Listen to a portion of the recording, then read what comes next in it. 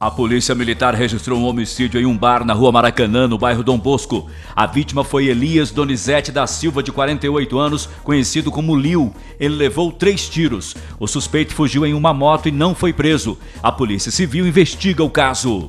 Foi realizada uma solenidade para a troca de chefia do 6 Comando Operacional do Corpo de Bombeiros.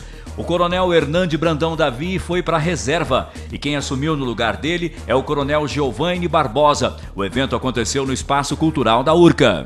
Nós temos um novo plano de comando da corporação aonde prevê a expansão dos trabalhos do Corpo de Bombeiros em todo o estado de Minas Gerais. A comissão nomeada pelo prefeito para apurar a situação financeira da Santa Casa decidiu pela demissão da superintendente Renata de Cássia Cassiano dos Santos. Para o lugar dela foi nomeado Azer Zenum Junqueira, que assume a partir do dia 5 de março.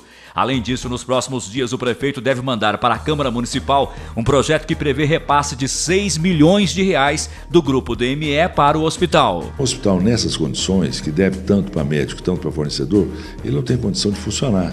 Agora, é uma dificuldade para a gente aqui depois dessa avaliação da comissão paritária, como é que nós vamos fazer para que o hospital volte a funcionar plenamente. Dentro da disciplina Práticas na Comunidade, alunos do curso de Medicina da PUC Minas, em Poços, acompanham o dia a dia de uma unidade básica de saúde, não apenas o trabalho do médico, mas de todos os profissionais.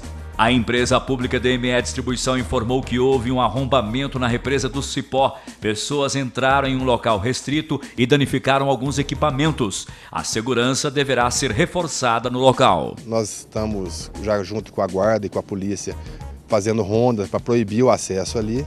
E se, não, se tudo não der certo, nós estamos pensando em outras medidas mais drásticas, algumas medidas mais conservadoras ali para o nosso, nosso ambiente ali.